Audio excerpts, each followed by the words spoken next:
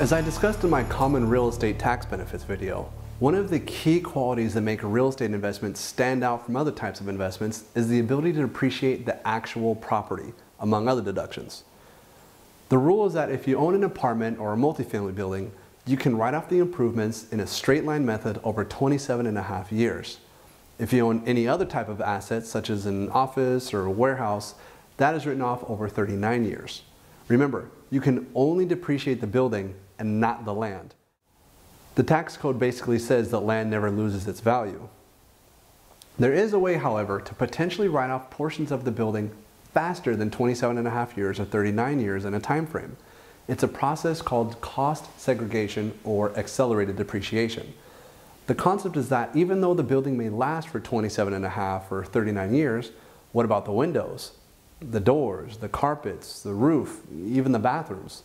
What about all the little parts that make up an entire building? Are those expected to last over two decades?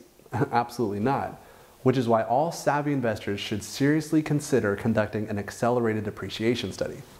Let's run through an example to show you the benefits. Let's say you purchased a retail building for $2 million, and for the sake of making numbers easy, half of the value is allotted to the land and the other half allotted to the improvements. This means you can write off over 1 million over a 39 year time period. And by doing so, you get to write off $25,640 per year in your taxes, with the exception of your first and last year of ownership. But again, what about the roof, the signage, or anything else that exists in the building? As the building owner, you then hire a person or a group to come out and do a study. For a fee which likely costs a few thousand dollars, they determine that certain parts of your building can be written off more quickly. Windows, the roof, and everything else have a tax depreciation schedule of three, five, seven years, or whatever it may be. And in fact, they determine the estimated replacement cost of those items.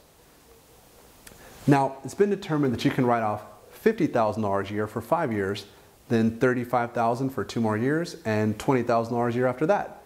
Of course, this is a made up scenario, but the numbers aren't far fetched. They're completely plausible.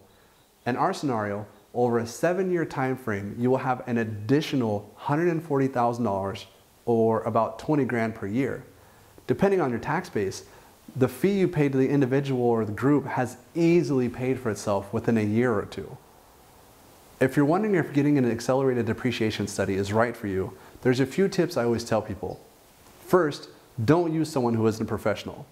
Although this is a legitimate tax strategy, whoever does the study must have paperwork to back up their claims in case you do ever get audited. Also, if you own a smaller building which costs under three to 400,000, it starts not to be a profitable course simply because the value of the taxes saved won't pay for the cost of the study in a meaningful time frame.